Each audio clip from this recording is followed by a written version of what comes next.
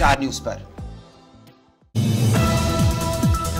Facebook विवाद पर संसद की स्थायी समिति के अध्यक्ष शशि थरूर ने किया बड़ा ऐलान। जल्द ही फेसबुक के अधिकारियों को बुलाकर जवाब तलब करेगी समिति। समिति के सदस्य निशिकांत दुबे ने कहा, राहुल गांधी का एजेंडा चलाना बंद करे शशि थरूर। दिल्ली के एम्स में भर्ती कराया गया गृह मंत्री अमित शाह। एम्स निदेशक रणदीप गुलेरिया के नेतृत्व में डॉक्टरों की टीम कर रही उनकी निगरानी। बीते दिनों कोरोना से ठीक होकर लौटे थे घर। हल्के बुखार के बाद एम्स में कराया गया भर्ती। कोरोना वायरस की चपेट में देश के 27 लाख से ज़्यादा लोग, करीब बावन हज़ार लोगों की हुई मौत। पिछले 24 घंटे में कोरोना के पचपन हज़ार उनासी नए मामले आए सामने, आठ सौ छिहत्तर लोगों की हुई मौत। ठीक होने वालों की संख्या पिछले 24 घंटे में आए मरीजों से ज़्यादा।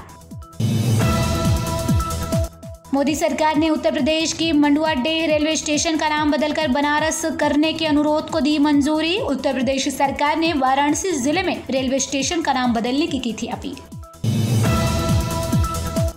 भारतीय रेलवे ने यात्रियों की सुविधा को ध्यान में रखते हुए स्टेशन के सभी स्टॉल पर नो बिल, नो पे का बोर्ड लगाना किया। अनिवार्य रेलवे ने जारी किया निर्देश। साथ ही पॉइंट ऑफ़ सेल मशीन भी लगाना होगा ज़रूरी। निर्देशों का पालन नहीं करने पर होगी कार्रवाई।